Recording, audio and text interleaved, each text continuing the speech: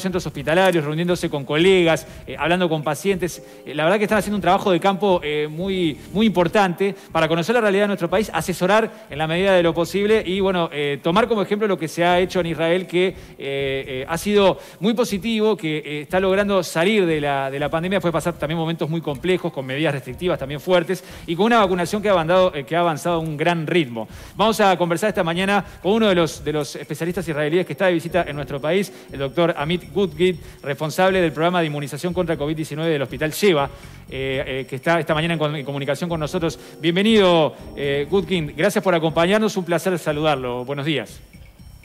Muchas gracias a ustedes y la verdad que antes que todo lo quiero felicitar usar el tapabocas en vivo me parece genial y súper importante, así que los felicito. Bueno, muchas gracias. gracias. Muy amable. Bueno, eh, gracias por estar en nuestro país, por venir a, colaborar, por, por, estar asesorando a, colegas. Eh, ¿qué, han visto hasta el momento del trabajo que se está realizando en Uruguay?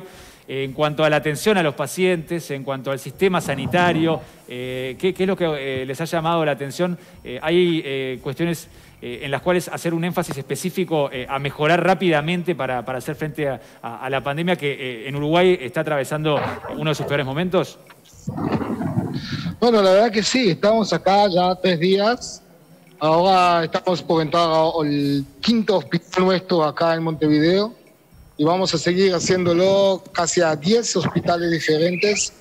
La verdad que estamos teniendo unos momentos muy interesantes con los colegas de todos los hospitales. Eh, estamos eh, pasando información, comparando información, tratando de apoyar con lo que podemos para que esta pandemia caiga y reduzca en una manera muy inmediata. Y si podemos hacer algo, es lo, es lo que para eso venimos. Bien, ¿en, qué aspectos le parece, eh, que, se necesita avanzar acá en, Uruguay? Eh, ¿Ustedes cómo, cómo, han visto, yo sé que son pocos días, eh, pero cómo, cómo ven a, la, actitud de la gente en las calles? ¿Cómo ve que se, que trata a los pacientes en, los centros médicos? El, personal con el que se cuenta, los recursos materiales, los instrumentos? O sea, ¿hay, hay, hay escasez de, algunas, de algunas cosas importantes aquí o ustedes ven que, Uruguay se ha preparado para, para hacer frente a esta situación?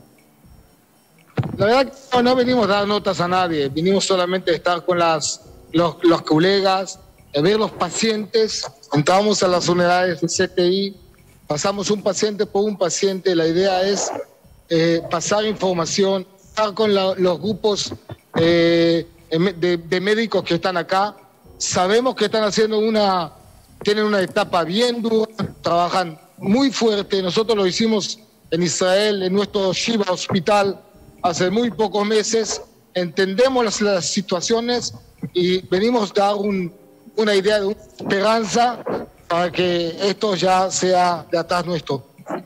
¿Se puede salir de, esta situación en un, en, un plazo, eh, digamos, eh, que, no, sea muy extenso, este, considerando eh, la, la, gravedad en estos momentos en cuanto al nivel de contagios y de fallecimientos que lamentablemente estamos teniendo aquí? Sin duda, yo, yo opino que sí, que sí se puede salir. Es una responsabilidad de cada uno de ustedes e ir con tapaboca en las calles, vacunarse, vacunarse, vacunarse. En Israel lo que hizo la diferencia fue las vacunas. Llegamos a 60% de vacunados y ahí en una manera bastante inmediata los, números de los nuevos casos bajaron en, en, en muy, pocas, muy pocos días o muy pocas semanas. Así que se puede hacerlo, van arriba y lo van a vacunar a todos. La diferencia, si se quiere, también importante es que en, Israel, para empezar, se vacunó de entrada con Pfizer eh, para, la, gran mayoría de la población. Y aparte en Israel se aplicaron medidas de, confinamiento, ¿no? de cuarentena, de restricción de la movilidad, que acá en Uruguay eh, muchas de ellas no se han aplicado. ¿Usted ve que eso hizo un efecto positivo en, la situación de Israel para salir más rápido del aumento de casos? Y sí, bueno, eh, es verdad que en Israel tuvimos cuarentena nacional eh, tres veces, pero si preciso entender la situación, el tema de las vacunas fue lo más, eh, más eh, importante al final. Eso es lo que está haciendo que ahora, una, en, una etapa bastante larga, ya estamos con 50 casos por día y la última semana cero muertos en los hospitales. Así que la vacunación sí hizo la, la diferencia, lo que no veíamos antes cuando estábamos solamente en cuarentena nacional. Eh, estás caminando por las calles de Montevideo, nos estás haciendo parte de la entrevista un, lindo tour. ¿Cómo ves el comportamiento de los uruguayos en la calle? Eh, ¿Está acorde a los cuidados que hay que tener o, harías alguna exhortación a cuidarse más? Siempre es mejor cuidarse más. En una etapa como que estamos ahora, me parece muy importante cuidarse. Cada uno es una responsabilidad personal de cuidarse cuando estamos en una etapa tan alta de la ola me parece muy importante cuidarse lo máximo posible que se puede en estos momentos. Va a pasar, van a ver que en, poco tiempo se puede salir de esta situación y van a poder volver a una vida normal, igual como que está en estos días en Israel. Hoy en Israel se puede casi hacer la vida normal y eso es lo que eh, eh, tengo la esperanza que eh, Uruguay podrá hacer en una manera rápida. doctor, ¿para cuándo están previendo ustedes la siguiente etapa de vacunación. Ahora ya hay un 60% de la población vacunada, como usted dijo, para dentro de cuántos meses prevén que tenga que volver a darse esa etapa de vacunación. Bueno, la verdad que nadie no lo sabe. Eh, Israel está eh, comprando vacunas como un seguro, pero en estos días no se sabe cuándo y si se va a necesitar. Eh, tiene mucho que ver con el tema de la, la, mutación. la mutación, claro eh, y se están haciendo muchas investigaciones para ver si se va a necesitar una tercera dosis y cuándo se va a necesitar esa tercera dosis. Por hoy día no hay una idea que la vamos a hacer en los próximos meses. es, eh, usted es hijo de uruguayos, seguramente en, su caso yo hablar mucho de Uruguay, de Montevideo a lo largo de su vida. nos ha conocido en un momento muy especial, muy particular, pero ¿qué le ha parecido lo que ha visto acá?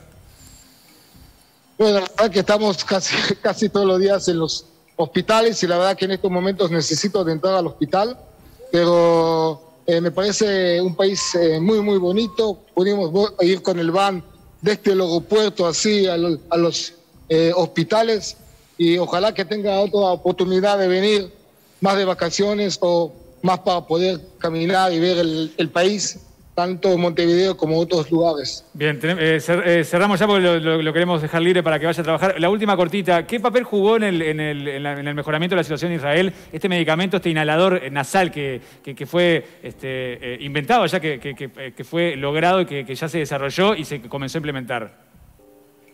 Bueno, nosotros de verdad no lo estábamos usando.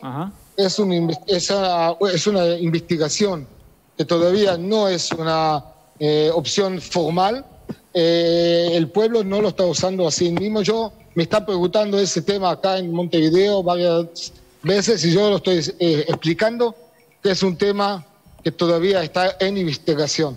Bien, perfecto. Doctor Gutnik, muchas gracias por su tiempo eh, y por, bueno, por, por, estar colaborando aquí con, con los, los, médicos uruguayos y con, con el sistema sanitario de nuestro país en este momento tan complicado. Que pase muy bien, buena jornada. Un placer para mí, gracias. Muchas gracias por acompañarnos. Buen día. Bueno, muy bien, la verdad que... Eh,